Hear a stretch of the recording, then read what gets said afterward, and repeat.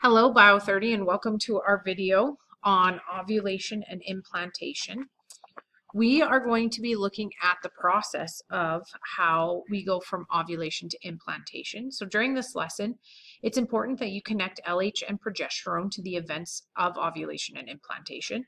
You need to be able to describe what is cleavage. You need to be able to do the order of listing from the development of embryo from a zygote. I'll show you what that means. You need to be able to tell me what is a blastocyst and how does it move into gastrulation, as well as we will eventually be looking at a couple other hormones and summarizing some stuff. For now, we are going to start on our notes and talk about what happens after fertilization. So we're starting at day zero. So you don't have day zero in your notes, and that's okay. Uh, just know day zero for us is fertilization. So you'll see on our form here, day zero, fertilization. You do not need to draw anything down on this. We're going to be labeling a different diagram here shortly. Day one is the day after fertilization, and that is when we see our first cleavage, which essentially cleavage is just a fancy word for division.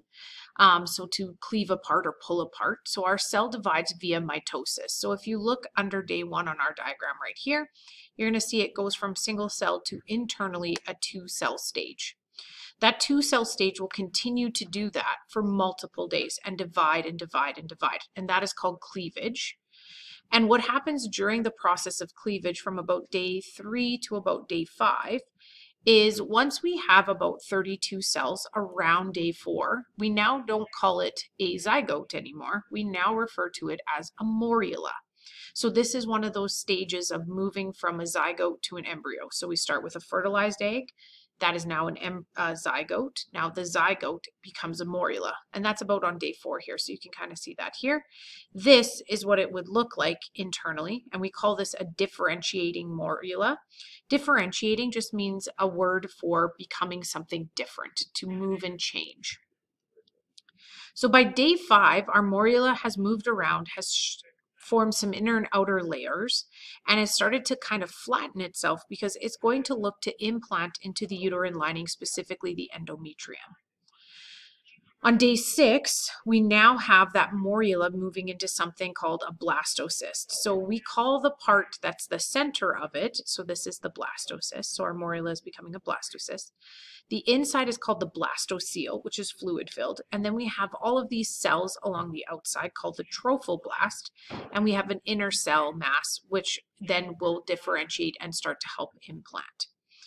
So the blastocyst has these villi, so little tiny hairs and enzymes that are secreted by something called the chorion, and we'll talk about that in a minute. And what it does is it implants itself through building up those enzymes, releasing those enzymes, and it'll attach itself to the wall of the uterine, and that's called pregnancy. Now, at this point, we call this structure on about day eight or nine a blastula. So what we're going to do is we're going to take this picture you see here and we are going to label it. Your picture in your notes is a little bit different, so follow along with me labeling it through. Make sure you have all of the stuff from day one to six written down. So here's the photo you have. So what we're going to do is we're going to start off by talking about ovulation. So here is the ovary. As we already know, we've talked about the ovary. Immature follicles go to developing follicles, become mature follicles to ovulate. At that time, ovulation happens is because LH, the hormone, spikes. LH spikes, we ovulate, and then what happens is, is we form a corpus luteum, which starts to, to put out progesterone. The reason it's putting out progesterone is to maintain this lining so that we can have implantation. So at day zero, at ovulation, we have our oocyte or our ova, okay? And at day zero, we have fertilization. Fertilization then goes through that four to two to four to eight cell division called cleavage. So in your notes, you have labeled part A and part B as ovulation and fertilization. You now need to label part C as cleavage and then label each of these stages of cells.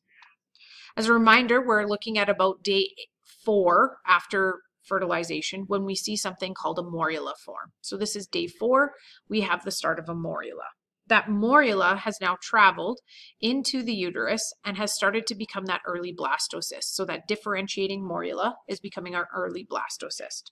That blastocyst has an inner mass and an outer blast, and then that inside called a blastocele. It is inside the uterus and it is going to travel and go and implant itself through the use of enzymes and the villi. So this is the process of ovulation to implantation. You need to know each of these stages and what they're called so that you can talk about how does a zygote become an embryo. So again, reminding ourselves at fertilization, this stage is called a zygote, meaning it's the very first stages after fertilization. It's going through cleavage. After a zygote, we get a morula. That morula is just a mass of cells that is going to start differentiating, changing into a blastocyst. That blastocyst is going to undergo gastrulation, which we'll talk about later, to become something else. So we're going to keep building on the story of how do we get to an embryo.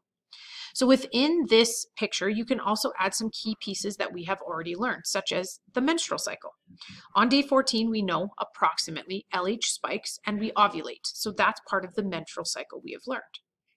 We then now know that during this time, during day 15 to about 28, that progesterone is increasingly being released so we can maintain that endometrium lining. And this is the reason why, is because as the egg is traveling, okay, as the egg is traveling, if it's not fertilized, we need to get rid of this endometrium lining. But in this picture, we are starting over at day one because we have fertilization. So the menstrual cycle still continues, but now because of fertilization, at day 18 in the menstrual cycle, we're actually looking at day three in gestation, meaning we are now, this individual has now had a fertilized egg for three days, but they're on day 18 of their menstrual cycle, so they don't even know that they are pregnant. By day 23, um, when we would see, or sorry, day 28, this should say, uh, when we start to see the menstrual cycle starting, um, if they are pregnant, it would be day five of pregnancy, and they wouldn't get that uh, flow of blood because there have implantation occurring.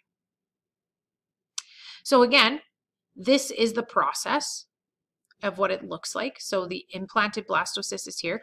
Mm-hmm. This one's going this way, I should say. I pointed at this ovary, but it's going this way. So you have your oocyte that was released, fertilization occurring. You then have your zygote. You go through cleavage as a zygote. You become a morula. You differentiate into a blastocyst, and then you implant. So over here, we just have some pictures of an example of a sperm meeting an egg and just size difference. And then what you can see here is the starting of an embryo, which we'll talk about here shortly. I just want to give you one more picture just to show you again what is going on. So we have a fertilized egg with our cleavage through here, our morula and our blastocyst.